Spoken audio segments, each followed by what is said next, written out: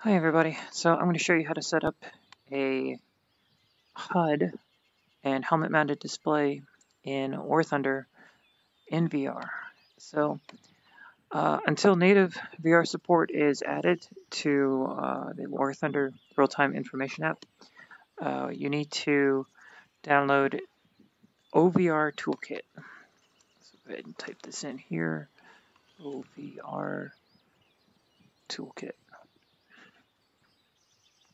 I've already been using this a while. this is what I'm using right now. Show you all my desktop view. Okay, so yeah, it's not free, but it's, in my opinion, is completely worth it.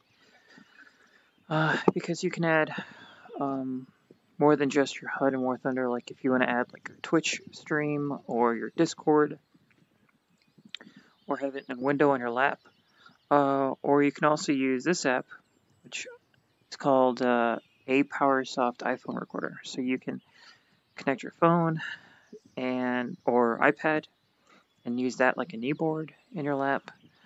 Uh, but we're getting ahead of ourselves. So go ahead and install it. Uh, you can set it up to go to SteamVR settings start up and shut down. Uh, you can actually set it up to start with uh, SteamVR. So like when you start up War Thunder and you select VR mode, it'll you click play, it'll start SteamVR and it'll start OVR Toolkit once the SteamVR starts.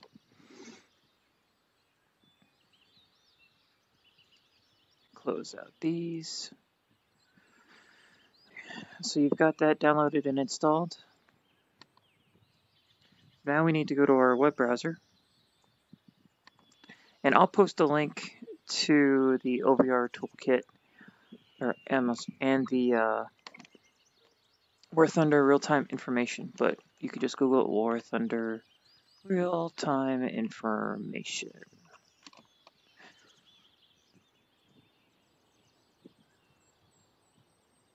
Now you're at the web page. Go to download and my computer does not like 1.6.1 for some reason, so uh, I prefer using version 1.6. And go to uh, right click, save link as. Uh, I prefer to save it not on my desktop, but uh, on my uh, extra drive here, my solid state. Okay, and then I'll open the folder, go to D drive, go to uh, open, and then I'm going to uh, copy this folder. going to come here to my D drive going to go new folder. And I'll just name it whatever, War Thunder real-time information. Let's name 1.6. And then paste this here. Okay, um, so you're for the first time you open it, you're gonna Windows protected your PC. Okay, that's fine. Run anyway, because it's not uh, signed. Uh, then just save anything. Um, except not with that in the file name. And that generates this profiles uh, folder. Okay, so we can go ahead and close this. We don't need it right now.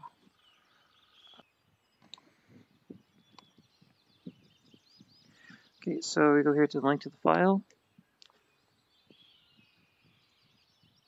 Going to download. Uh, we just save the file.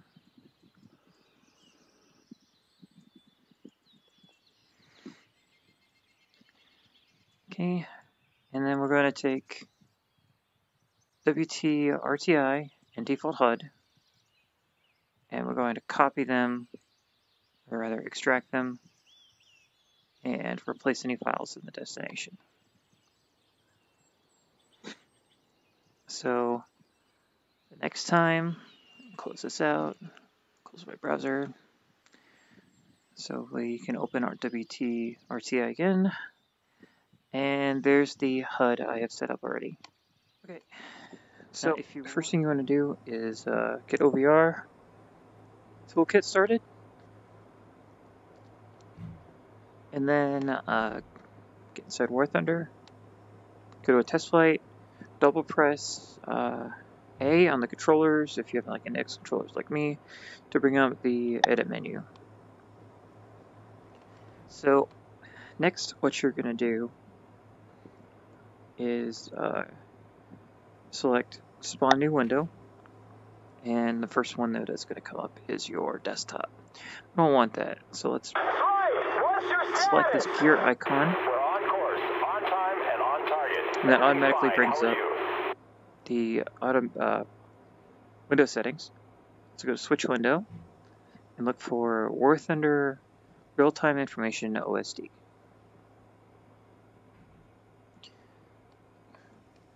And chroma key turn on.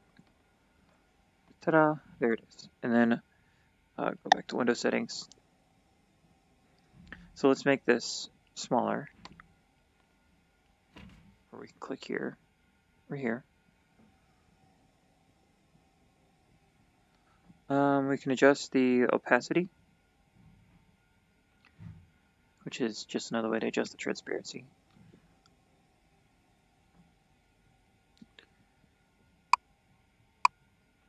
Uh, we can adjust the curve of the window.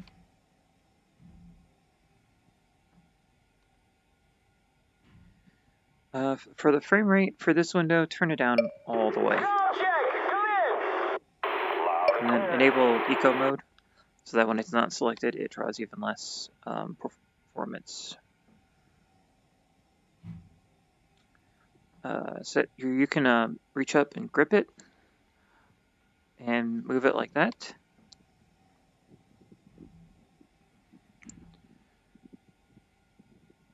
Uh, or you can attach it to a controller like so.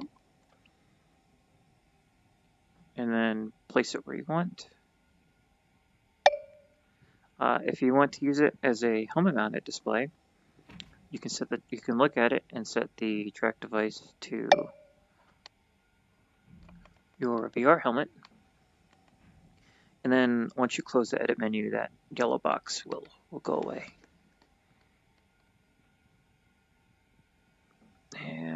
And, once you turn off tracking, it'll just freeze in place. When I position the HUD, I like to have the uh, airspeed and altitude uh, level with my crosshairs, with the crosshairs in the center, which it doesn't look centered to you in uh, 2D world, but me in 3D world here, it looks like it's uh, in the center. And I can use the heading indicator to help line it up. And uh, if it's hard to read, you can make it larger, or you can bring it closer to your face.